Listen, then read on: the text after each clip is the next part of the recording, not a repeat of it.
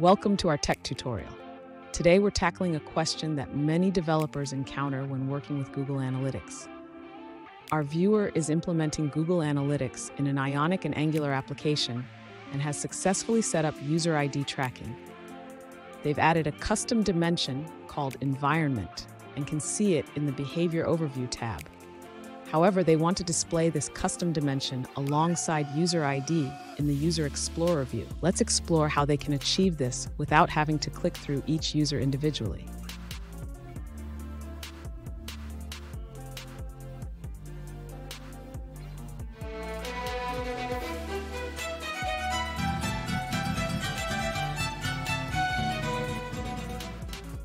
Welcome back to another technical video. Today we're going to be going through your question, going through some of the answers, and hopefully finding that solution. Guys, remember to stay just a little bit crazy and work through to that resolution. Now, let's get started.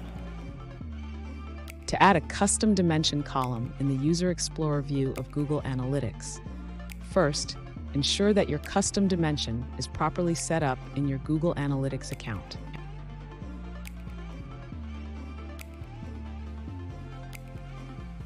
Next, you need to ensure that the custom dimension is being sent with the user ID tracking in your Ionic and Angular application. This involves modifying your tracking code.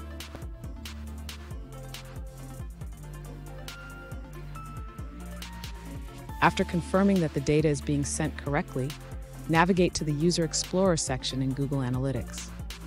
Here, you can view individual user data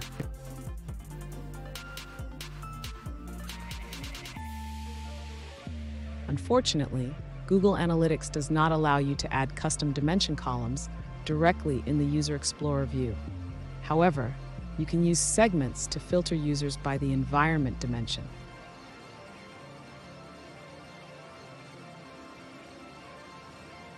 Finally, while you cannot see the environment column directly, using segments will help you identify users from specific environments without clicking through each user.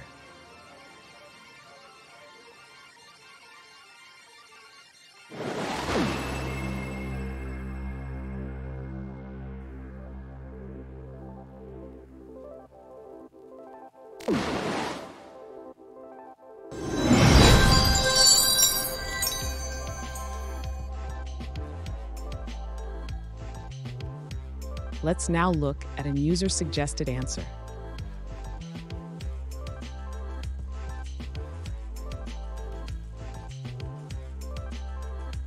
Unfortunately, adding a custom dimension column in the User Explorer view of Google Analytics is not a valid feature.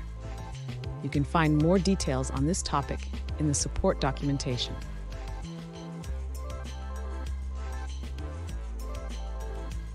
And that's it. I hope you found the solution that you're looking for.